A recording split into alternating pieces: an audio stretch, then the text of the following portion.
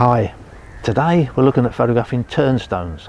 There's two species of wader in the UK that are very easy to photograph, turnstones and sanderling. Both of them are widespread and both you can get close to quite easily. On the whole, there are a few places where turnstones are a bit more wary, but generally speaking they're very tame and approachable. And in fact in my lifetime turnstones have evolved so they've moved into our seaside towns.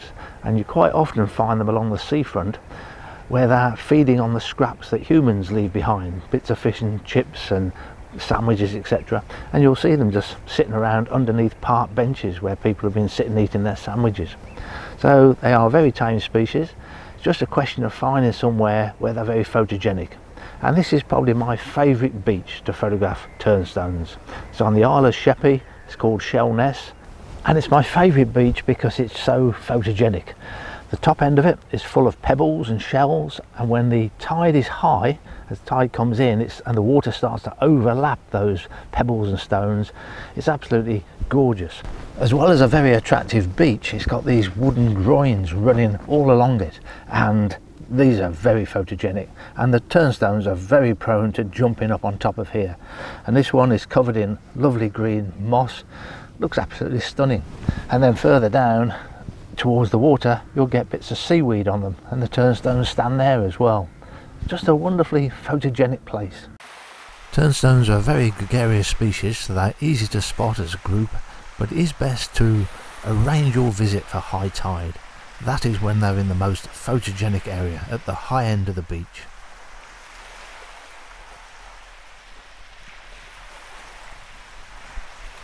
I like it when the water is lapping around their feet. Adds that extra element to the picture. The light is quite important too, and at this moment it's a bit overcast, which doesn't bring out the colours in the shells and the water. But then I had a bit of a bluer sky and a bit of sunlight shining.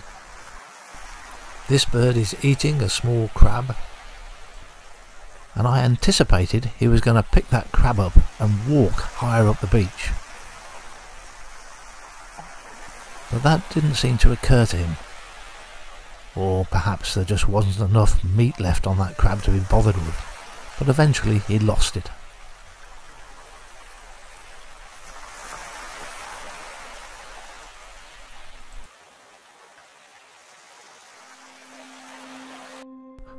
Just a handful of stills pictures. The shutter speed doesn't really matter when you've got a static bird, this could be 200th of a second or 2000th of a second, you wouldn't see any difference, but this one is a slow shutter speed, 25th of a second. And then some backlit shots on top of those groins.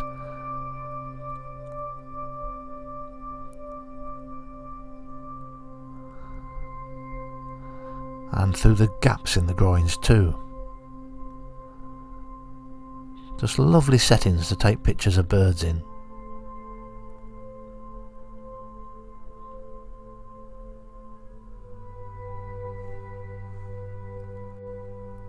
You stand more chance of finding them on top of these groins at high tide and they will roost here at the highest peak of the water and have a rest from their normal frenzied feeding.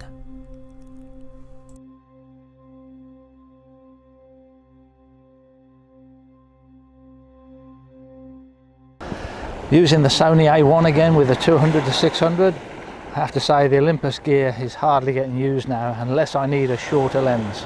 The autofocus on this is just so superior to any other camera I've owned so far. Olympus are supposed to make an announcement this autumn about a new camera they're being, bringing out in 2022. Just hoping the autofocus is catching up with what Canon and Sony are now doing. Still got this small rig on, I'm using this all the time. Makes no difference for stills photography, just for video. Vibration with video is a much bigger problem and this just helps to reduce it, even just the wind blowing. But this big lens acts like a sail and you can see vibration in the viewfinder when you're shooting the video.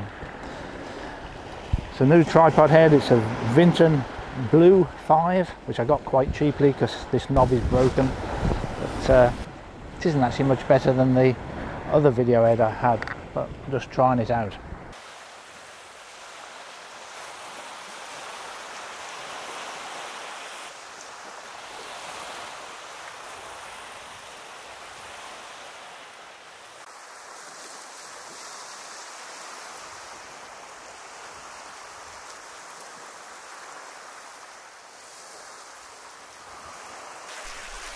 The light is just right here and brings out the colours in that lovely beach.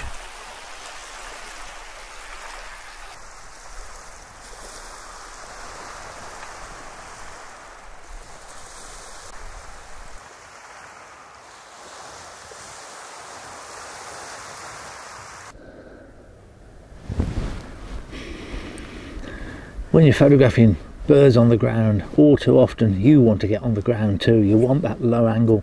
Throws the background out of focus and makes the bird look more dramatic. If you're doing it on an incoming tide the beach is drier. If it's outgoing then as the water goes down the hill this is still very damp. So it is much better on an incoming tide lying down on the floor. You're going to get damp you're going to get wet. Uh, I was wearing the same shirt yesterday there didn't seem any point in changing it. It's going to get wet again. You could put a camping mat down. That's okay if you're going to be staying in the one spot but here I know I'm going to have to keep getting up and moving as the turnstones walk about so I just accept I'm going to get dirty and muddy.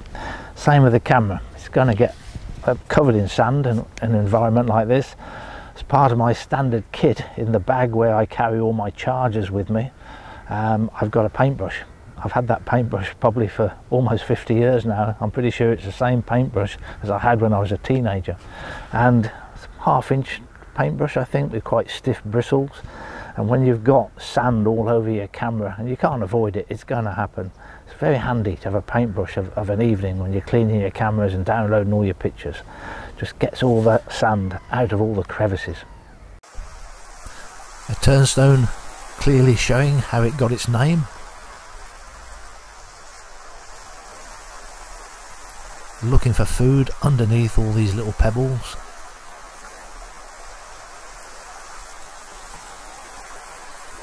And here we're in slow motion, so this is 120 frames per second, still in 4K you may be able to see that as it flips a pebble up, its bill is open.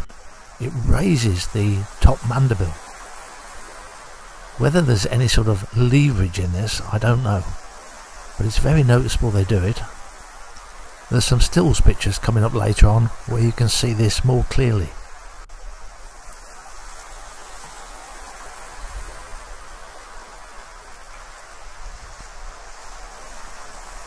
As well as being called a turnstone, you could call it a sand digger. And they seem to dig quite big holes. This shot is taken with the 1.4 extender on the 200 to 600 zoom, but the next shot is taken with the clear image zoom on as well. This is a digital zoom, and I'm amazed at the quality you get from it. It's something I'm using more and more when I'm shooting video, but I don't use when I'm taking stills pictures because I shoot raw and it won't work in raw format.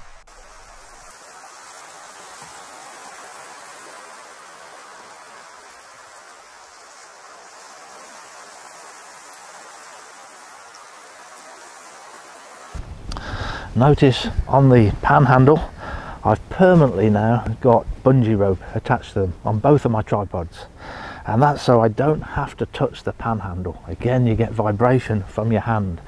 So okay at the 200 mil end it's when you go to the 600 mil end as soon as you touch that handle you can see the vibration come into it. Even though this is a big professional fluid head. So I've got this bungee rope on there. So once I've got the camera running I let go of the handle and when I want to pan I just pull on the bungee and then you don't get that vibration. Slows your reactions down a bit. As the bird starts to move you're often um, a bit of a delay before you can start to pull it but it cuts out that vibration. Very important to me. Being a gregarious species you do get some interaction between the birds. There was a little bit of fighting going on but I failed to capture that. And this is the sort of setting I like when the bird is higher up on the ridge so he separates him from the background and I like that shot as well with all the sand around its head. And here you can see that open bill as it lifts up this pebble. Very noticeable, it always opens the bill.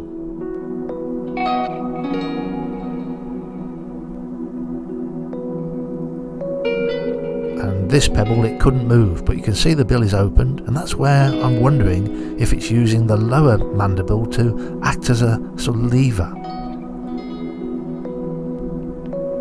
Ever since I was a child, I've always enjoyed watching the behaviour of birds, rather than being a traditional bird watcher where you're counting how many species you're seeing. I was much happier watching common birds and just seeing what they did, how they fed.